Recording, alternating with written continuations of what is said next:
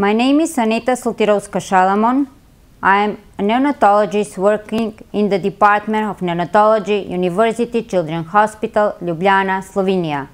Our manuscript in October 2016 issue of Development Medicine and Child Neurology is about neurological presentation and neuroimaging findings in a newborn infants with incontinentia pigmenti. This work was done together with colleagues from six neonatal intensive care units in Europe and uh, newborn infants with incontinentia pigmenti were collected over more than 10 years. Incontinentia pigmenti is a rare X-linked genodermatosis with an estimated prevalence at birth of 0.7 per 1100. The CNS is frequently involved in incontinentia pigmenti patients with an overall case prevalence of neurological manifestations in 10 to 30 percent. In this case series study, the clinical and neurological course including neuroimaging and follow-up data of eight newborn infants with the neurological phenotype of IP were retrospectively reviewed. While the clinical picture was polymorphic, the neurological manifestations were defined as encephalopathic and comprised lethargy and seizures in all but one of the infants.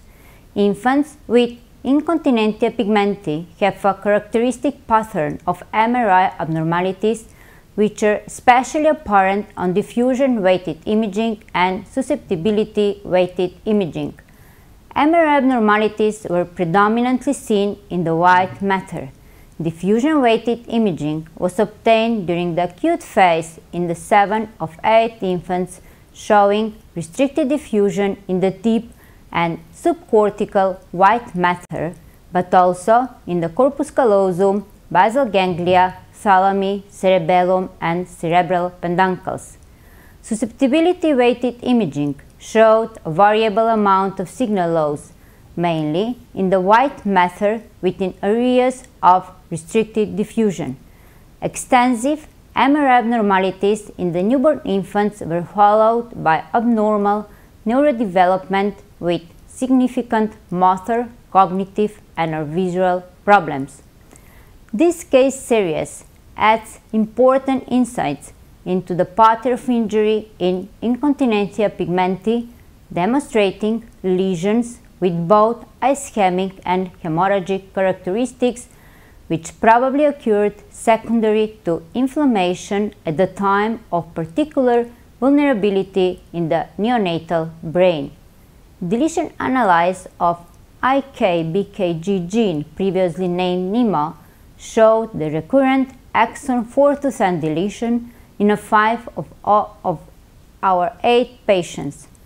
We would like to recommend performing an MRI to assess the extent of CNS involvement, as the punctate lesions best seen with diffusion-weighted imaging are very characteristic, the MRI may help with the diagnosis of the incontinentia pigmenti adding susceptibility-weighted imaging to the MR protocol may show a mixture of hemorrhagic and ischemic lesions. Thank you.